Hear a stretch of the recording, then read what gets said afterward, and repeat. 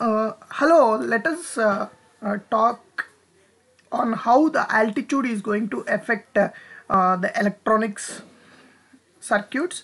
Uh, so for this example, we'll consider a simple DC-DC converter and see from its data sheet how the derating has been considered. So mm, the one you see in the image here basically is from Mornsun DC-DC converter from Mornsun uh, which has provided a uh, derating curve for its output power based on the altitude. So if you see here uh, mm, for an altitude of uh, 2000 meters it says uh, mm, you can use uh, the DC DC converter up to 100% of its uh, capability output power capability whereas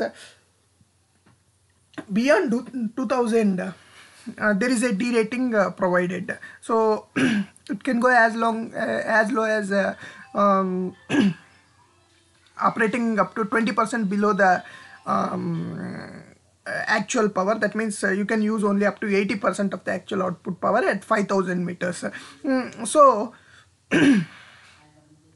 what uh, this means is that uh, basically as the electronics particularly this dc dc converter talking about uh, this as an example uh, or in general any electronic systems uh, um, as we go into higher altitudes uh, uh, the operation of it is going to get affected. So that means example if you take any space application aerospace application or any other rf related application which uh, operates at a higher altitude mm, there should be special considerations that need to be taken. So now the point is how altitude plays uh, a role mm, and what considerations we have to take to overcome this.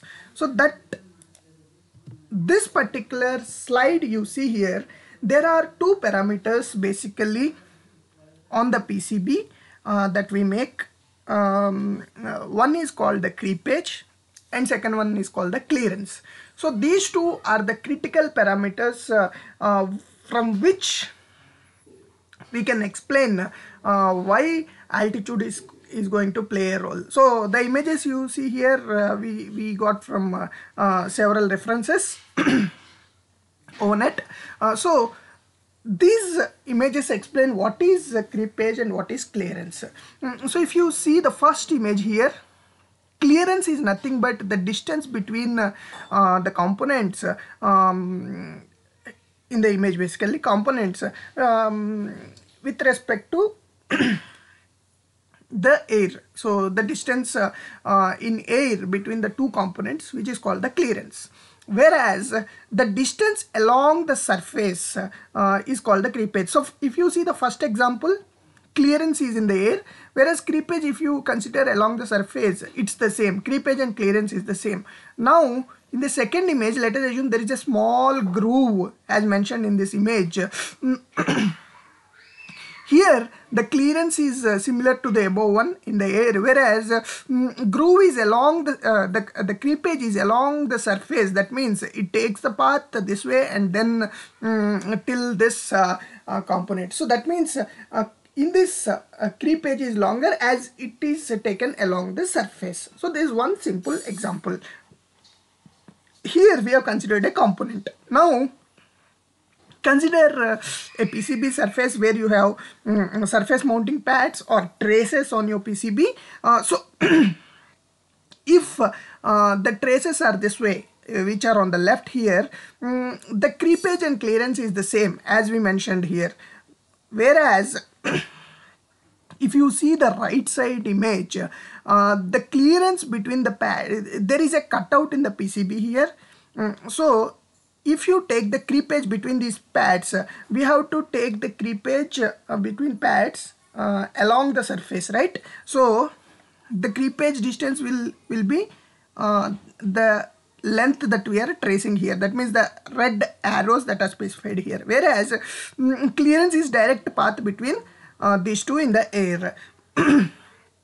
Even though there is a cutout this is the clearance path. So we will come back to this image here this is another uh, example which shows uh, um, uh, this uh, we, we will go to this third one directly.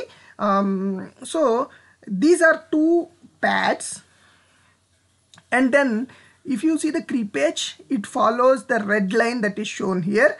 Um, whereas clearance is directly between uh, these two pads over the air. So hope we are clear about uh, creepage and clearance. So one thing is clear that uh, uh, most probably uh, clearance would be lesser creepage could be uh, uh, always greater than or equal to clearance as per our understanding here. Now let us come back to this uh, scenario and we will talk about what are the effects that are caused by this creepage and clearance so that um, at higher altitudes uh, we see issues. Now this is the scenario. So if you see here this particular uh, topic which we were talking, uh, so the creepage actually um, is uh, along this red line and uh, uh, clearance is between the pads is what we have talked. So when we say um, this clearance, we see that air is the dielectric for these pads.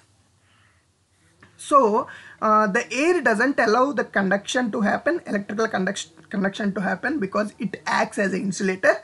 Mm, so uh, there is no need of a, any additional insulation. Um, the air itself acts as an insulation here. Now what happens is as the uh, boats these electrical boards are taken uh, to a higher altitude, uh, the insulating property of this air uh, gets lesser. That means the air becomes a poor insulator and as it, it becomes a poor insulator, there is every chance that uh, over um, the conduction can happen directly between these two pads over this air gap which we call it arcing or a breakdown condition which is a common um, a failure scenario seen across embedded boards even on the uh, when they are operated on the land itself normal altitude conditions. Uh, so while that is a different discussion here we are talking about the altitudes. So when we talk about this spacing um, and the arcing that is going to occur at higher altitudes. So it is important that when we are designing these electronics, these electron, the spacing between these copper traces we are talking here or copper basically pads we are talking here or traces that are used on the PCB, there should be sufficient spacing between them such that uh, there will not be any arcing or breakdown that occurs even at higher altitudes. So now we are uh, getting to some understanding and conclusion that um, on the uh, when it is operated at a lower altitude the spacing could be lesser whereas as we take these boats to higher altitudes uh, uh, the spacing has to be more. So when we are designing these boats uh, we have to design them such a way that these boats can operate at higher altitudes as well. So that is why in the first slide when you have seen uh, the DC-DC converter they have designed uh, um, uh, such that it operates uh, up to 100% uh, to specific altitude. And then when you go beyond that altitude you have to reduce the uh, power at which um, it will be operated the output power basically. So because uh, we are talking about power here because uh, the more the power there is uh, every chance that arcing or a breakdown can happen. So we have to operate at lower output powers so this i hope we are clear on this. And then uh, the other scenario uh, what happens is we are just talking about a breakdown scenario um, uh, where we have to maintain spacing between these traces and pads. Now there is one more scenario.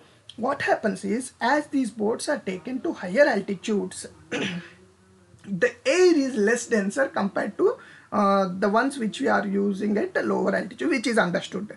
So as we go to higher altitudes what happens is uh, the conductivity becomes lesser.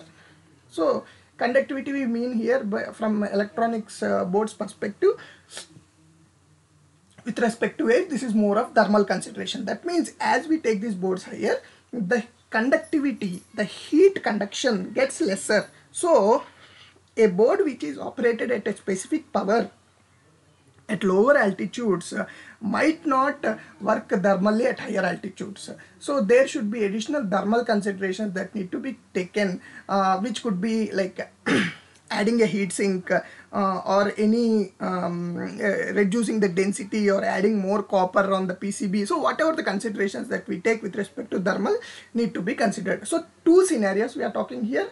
One is thermal and the other one is arcing or breakdown that could occur at higher altitudes. So when we are designing boards, especially the guys who work on aerospace and then space applications uh, need to consider this um, and uh, uh, design their boards such a way uh, that these arcing or breakdown doesn't occur. So there are specific standards which are there um, which define the kind of spacing that need to be uh, maintained in these scenarios.